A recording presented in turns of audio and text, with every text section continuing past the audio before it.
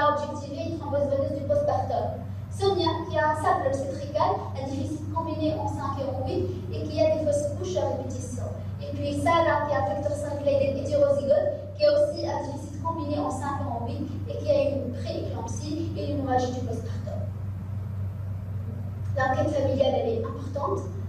La mère, elle est venue, on lui a fait la mutation, elle avait un facteur 5 hétérozygote, elle a eu une hémostase globale qui est normale, fait un dosage des facteurs.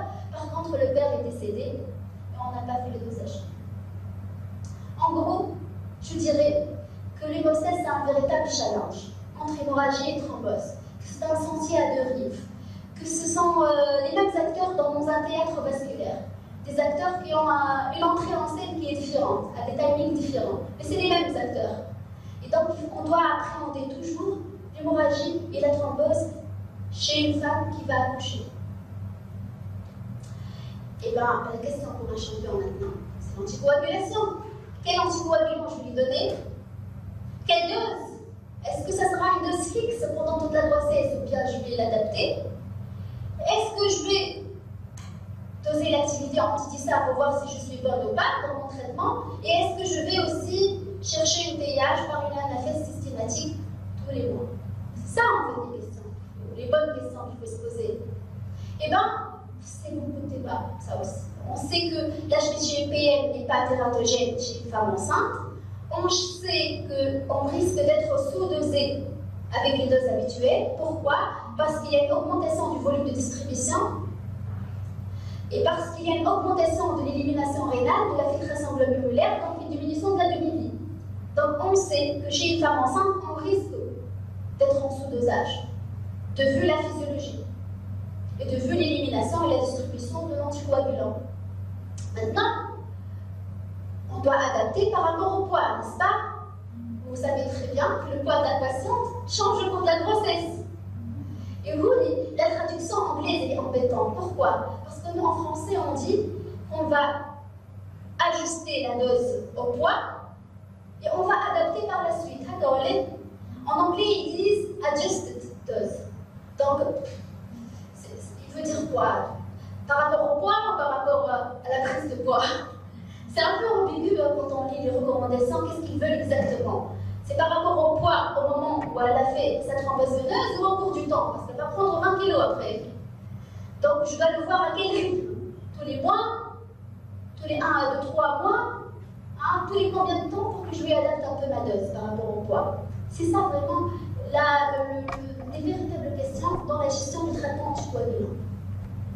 Bah, elle prend un traitement lourd sur le plan pharmaco-économique, sur le problème euh, qu'elle encourt, qu'elle le prenne bien au moins, et dans la bonne dose, avec la bonne dose.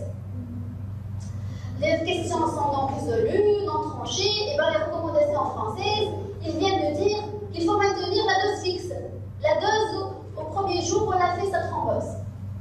En pratique, je ne vois pas ça les choses comme ça. En pratique, quand on demande aux cliniciens, je suis peut-être un peu d'accord avec eux, il faut voir la patiente de façon périodique, disons tous les 1 à 2 mois, et réajuster un peu la dose en fonction de son poids. Les, recommandations viennent nous étonner en nous disant c'est vrai que le grade n'est pas haut, les deux. Donc c'est une suggestion, ne pas augmenter la dose au cours de la grossesse. Je suis peut-être fatiguée, je vais passer. Je vais passer. Je vais juste dire qu'il est important d'interpréter un bilan qui est cher, qui est lourd, qui n'est pas anodin, sur lequel va s'articuler un traitement aussi, qui n'est pas traitement anodin. Donc il faire attention aux anomalies acquises de la grossesse.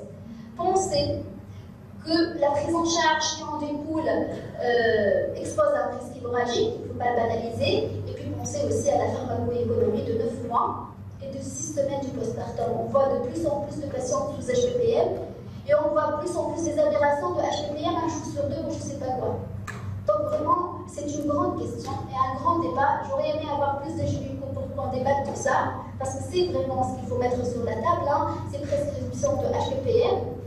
Je dirais plus une personnalisation de HPPM. Quand est-ce que je donnerai une oxaparine ou testartaparine ou la C'est une autre paire de manches, tout ça. Je vous finis, je vous finis en vous disant que je suis enceinte, que je ne suis pas représentée par gosse. Je ne suis pas enceinte. je suis enceinte et je ne suis pas représentée par cette fameuse de gosse, que je suis enceinte, donc je ne peux pas par rapport aux valeurs qui sont faites sur une population qui n'est pas gravide, qui n'est pas enceinte. Voilà, je vous remercie.